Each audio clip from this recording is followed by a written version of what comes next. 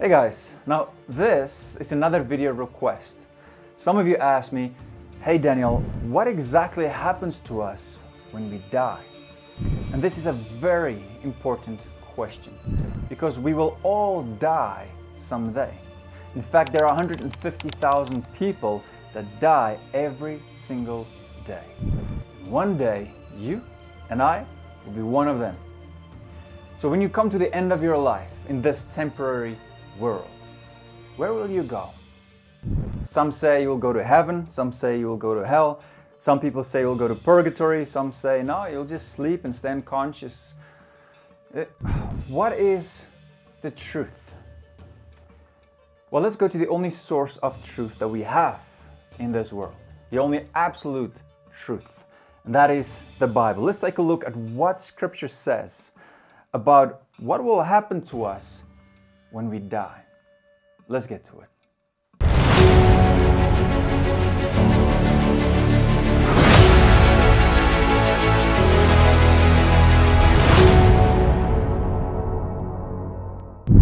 Now just very quick, if it's your first time here on my channel, I'm Daniel and welcome to DLM Christian Lifestyle. If you haven't subscribed yet, then please consider it and then also click that notification bell so you won't miss any of the next videos. Now, you need to know that as Christians, as believers, we do not need to fear death, our own death, because we look at it with joy, because we know that when we die in this fallen world, we will be with Christ in heaven.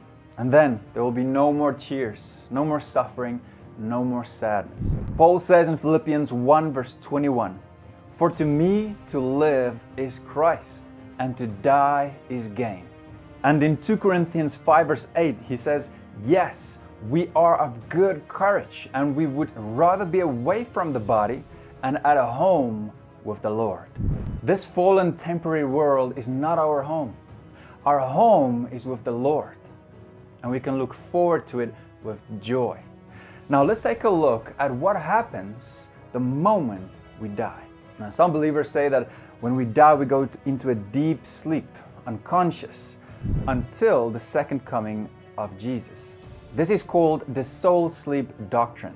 Now, this doctrine basically teaches that when you as a believer die, at that moment, you go into a state of unconscious existence until the second coming of Jesus. Now, this doctrine is not really widespread and it was mostly taught by the Anabaptists at the Reformation and the Irvingites in England. It was around the 19th century. And then some Christians believe in purgatory.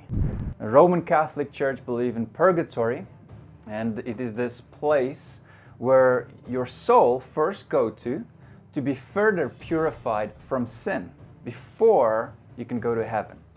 And then there are believers who say that when we die, our soul goes immediately to Christ and our body goes to the ground, to the grave. And it stays there until the second coming of Christ. When that happens, then we receive our body again. But then it's a resurrected, eternal body. And then, of course, God is going to make the new heaven, the new earth, and then we're going to live with Him forever and ever. Now, what about unbelievers? Well, some say that when unbelievers die, they will either go to hell for all eternity. Some say no, that will not happen. Some say no, they will just cease to exist. And others say no, they will suffer for a while because of their sins, and then they will just cease to exist. This is called the doctrine of annihilationism which just mean that God will annihilate them and they will just cease to exist. But what is the truth? The truth is revealed when we look at Scripture, but not just one verse, but at the whole of Scripture in a balanced way. Now let's look at purgatory first. What does the Bible really say about purgatory? Nothing. The Bible says absolutely nothing about purgatory. So, where then does the Roman Catholic Church get the doctrine of purgatory from if it's not in Scripture?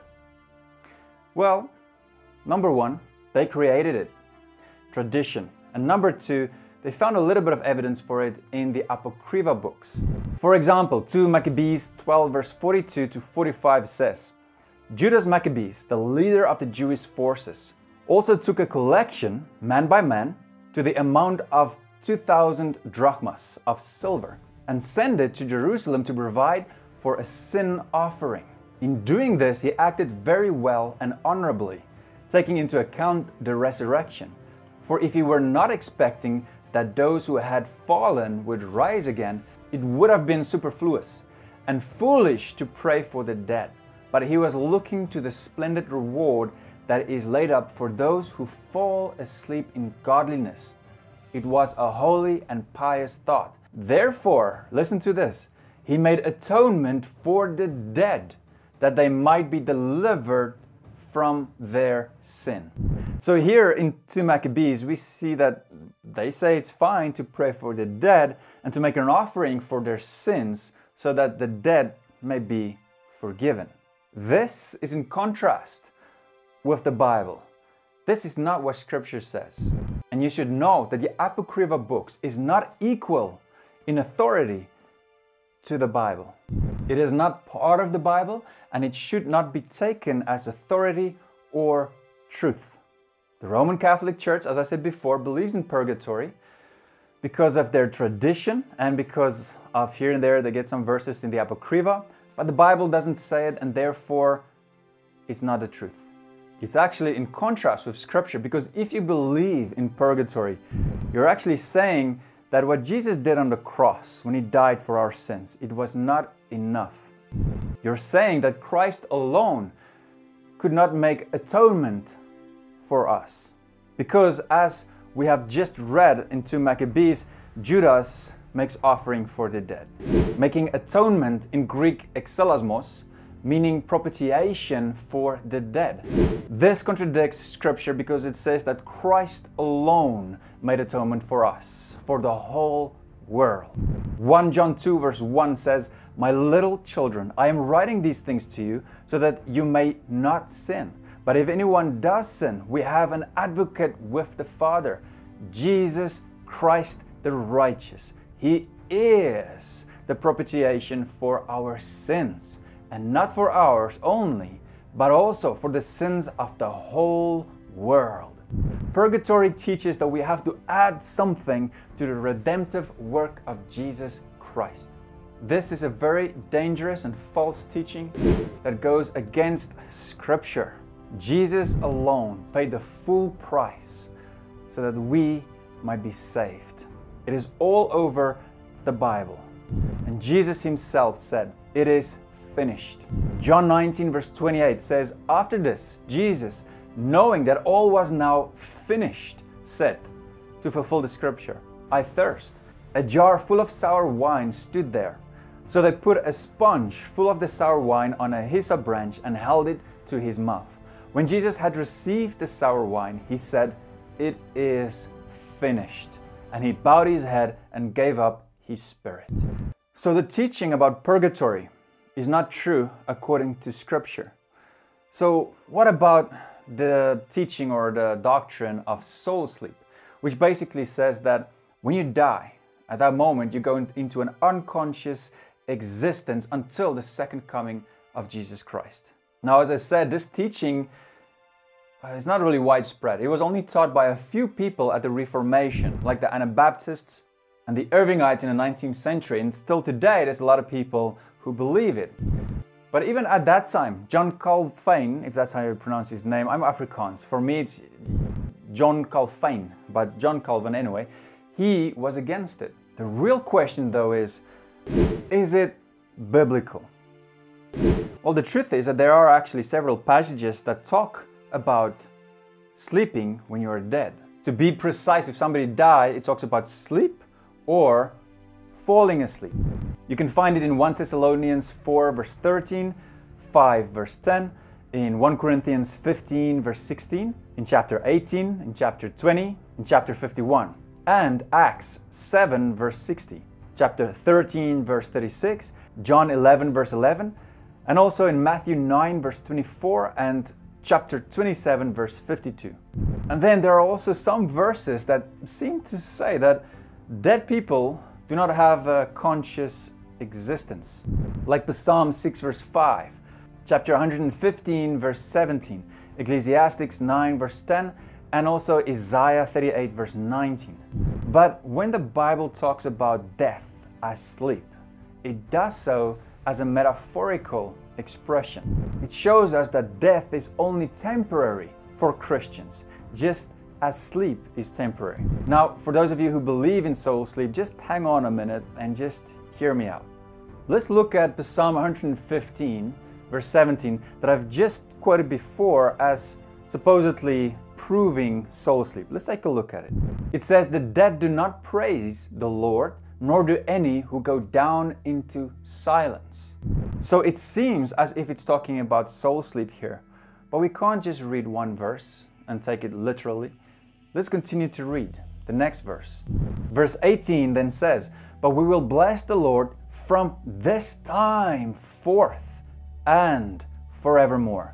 From this time forth and forevermore. It doesn't say that we will first go and die and be unconscious for a long time and then we will be with the Lord. And no, it doesn't say that. Let's look at another verse supposedly proving soul sleep. John 11, verse 11. After saying these things, he said to them, Our friend Lazarus has fallen asleep, but I go to awaken him. Jesus doesn't say here that the soul of Lazarus is sleeping nor does any other verse in Scripture or even say that the soul is unconscious. Jesus only said that Lazarus fell asleep. And then when the disciples thought he meant it literally, he said, No, no, no, he's dead. Let's continue. The disciples said to him, Lord, if he has fallen asleep, he will recover. Now, Jesus had spoken of his death, but they thought that he meant taking rest in sleep. Then Jesus told them plainly, Lazarus has died. The other passages that supposedly prove soul sleep is the same. When the Bible talks about death as sleeping, it's just a metaphorical expression because our body will stay on earth while our soul goes to be with Jesus Christ. Our physical bodies will return to dust. Genesis 3, verse 19 says, By the sweat of your face you shall eat bread till you return to the ground. For out of it you were taken, for you are dust, and to dust you shall return. But then scripture tells us that our bodies, our lowly bodies, will be like Jesus at the resurrection. Philippians 3, verse 20 says, But our citizenship is in heaven, and from it we await a Savior, the Lord Jesus Christ, who will transform our lowly body to be like His glorious body by the power that enables him even to subject all things to himself. So, God will transform our lowly bodies into spiritual bodies that will be able to live forever and ever, eternal bodies with Jesus Christ. He will do that at the second coming. But what about now? What if you die right now? What will happen to your soul? If you're not going to go to purgatory or sleep, then what will happen to you? Are there specific verses that tells us what will happen to us? Yes, and there are many. Let's go to the first one.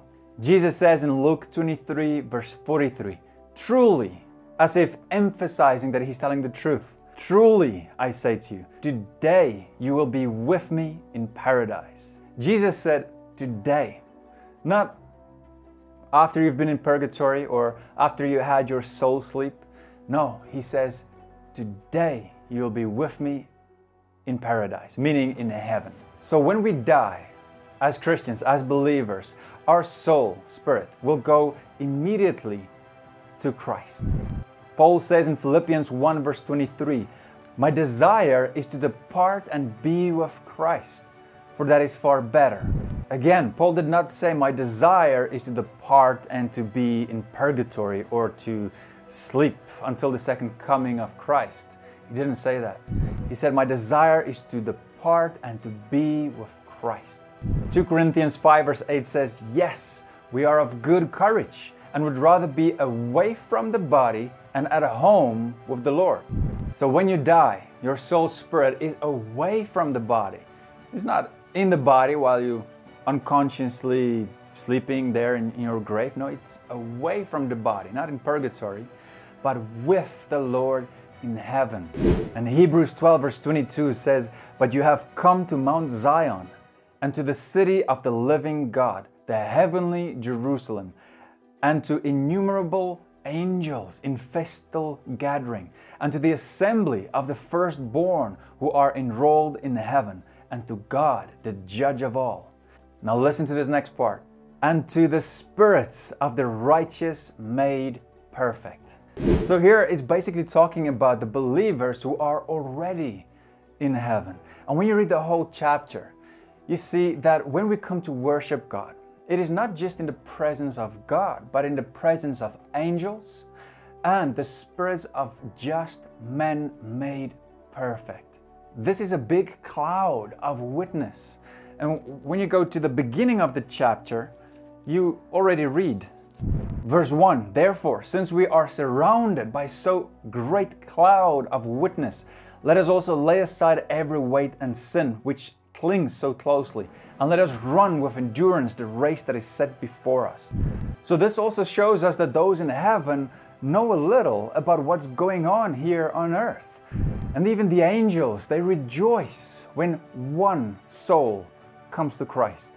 Luke 15, verse 10 says, There is joy before the angels of God over one sinner who repents. Wow, imagine that. All the angels rejoicing over one sinner. This life is not our home. This world, not our home. It's only temporary and we're just passing by. Do you remember what Stephen said when they killed him? Read it with me. Acts 7, verse 55. But he, full of the Holy Spirit, gazed into heaven and saw the glory of God and Jesus standing at the right hand of God. And he said, Behold, I see the heavens opened and the Son of Man standing at the right hand of God. But they cried out with a loud voice and stopped their ears and rushed together at him. Then they cast him out of the city and stoned him. And the witnesses laid down their garments at the feet of a young man named Saul. And as they were stoning Stephen, he called out, Lord Jesus, receive my spirit. And falling to his knees, he cried with a loud voice, Lord, do not hold this sin against them. And when he had said this, he fell asleep. Wow, what a powerful message. And Stephen gives us certainty when he speaks, full of the Holy Spirit in truth, and says, Lord Jesus, receive my spirit. So his spirit immediately went to Jesus Christ, and his body went to the ground. At the end, when it said that he fell asleep. So here it is very clear that if he fell asleep, how can he be asleep if his spirit is then with Christ? You see, his spirit is with Christ, but his body is sleeping temporary until the day that Jesus will come again and resurrect our new bodies and make it like Jesus, eternal spiritual bodies that we will live in in the new heaven and the new earth. Now, this also makes sense when we read 1 Thessalonians 5, verse 9 to 10. For God has not destined us for wrath, but to obtain salvation through our Lord Jesus Christ, who died for us, so that whether we are awake or asleep, we might live with Him. Awake or asleep. We can't live with Him if we are sleeping unconsciously. It only makes sense if sleep just means death. And it does, as we have seen in Scripture. Now, you only die once, your physical body here on this earth, and then you are judged. Hebrews 9, verse 27 says, And just as it is appointed for man to die once, and after that comes judgment. For us as believers, when we die, we will be with Christ. But for unbelievers, who refuse to accept Jesus Christ as Lord and Savior will go to eternal punishment. It seems like they will be sent to a temporary holding place, Hades, to wait for their final resurrection, their judgment, and eternal punishment. Now, Jesus gave us an example of what will happen to us when we die with the story of Lazarus Luke 16, verse 22 to 23 says, The poor man died and was carried away by the angels to Abraham's side. The rich man also died and was buried, and in Hades, being in torment, he lifted up his eyes and saw Abraham far off and Lazarus at his side. So it shows us that the rich man's body was buried, but he was immediately tormented in Hades. And then, of course, later comes judgment, final judgment. Revelation 20, verse 11 to 15 says, Then I saw a great white throne, and him who was seated on it. From his presence, earth and sky fled away, and no place was found for them. And I saw the dead, great and small, standing before the throne, and books were opened. Then another book was opened, which is the book of life. And the dead were judged by what was written in the books, according to what they had done. And the sea gave up the dead who were in it. Death and Hades gave up the dead who were in them. And they were judged, each one of them, according to what they had done. Then death and Hades were thrown into the lake of fire. This is the second death, the lake of fire. And if anyone's name was not found written in the book of life, he was thrown into the lake of fire. Chapter 21, verse 1 then says, Then I saw a new heaven and a new earth, for the first heaven and the first earth had passed away, and the sea was no more. And I saw the holy city, New Jerusalem, coming down out of heaven from God, prepared as a bride, adorned for her husband. And I heard a loud voice from the throne saying, Behold, the dwelling place of God is with man. He will dwell with them, and they will be his people. And God himself will be with them as their God. Wow, I can't wait to see and experience this.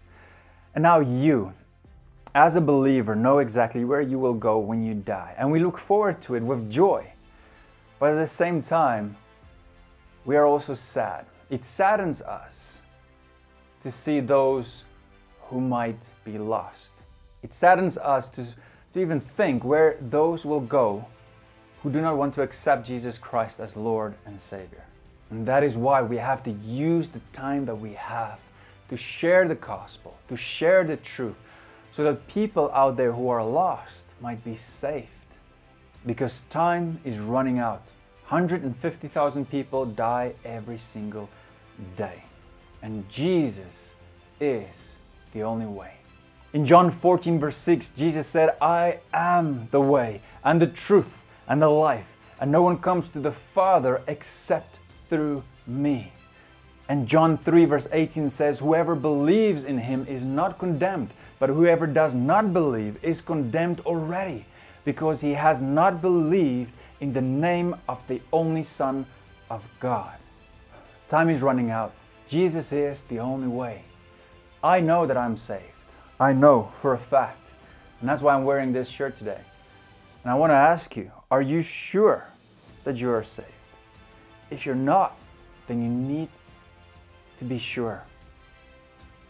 And if you are saved, but you're a passive Christian, it's time to be active. Jesus did not call us just to become a Christian and just to live in luxury and do nothing and be passive. No, He called us to be disciples and to make disciples. You are the light of the world, and it's time to shine your light, to share the gospel, so that you can stand in front of God one day. And when He asks you, What did you do of the talents and the gifts that I gave you? Then you can stand in front of Him and say, God, I gave my all. I used what you gave me for your glory. Can you say that? If not, then it's time to start and to share the gospel. People ask me also, okay, so what then about people who has never heard about the gospel in some jungle or some places that have never even heard the name of Jesus Christ? What will happen to them? Well, I'm going to answer that in the next video that you will see here. Now remember, God loves you and I love you too. Bye. Take my life be